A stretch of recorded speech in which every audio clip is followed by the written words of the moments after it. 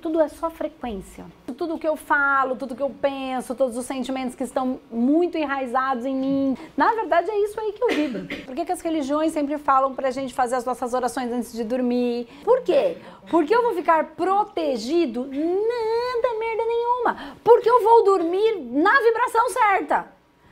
Porque quando eu desdobro é sintonia, não é um lugar, é uma vibração.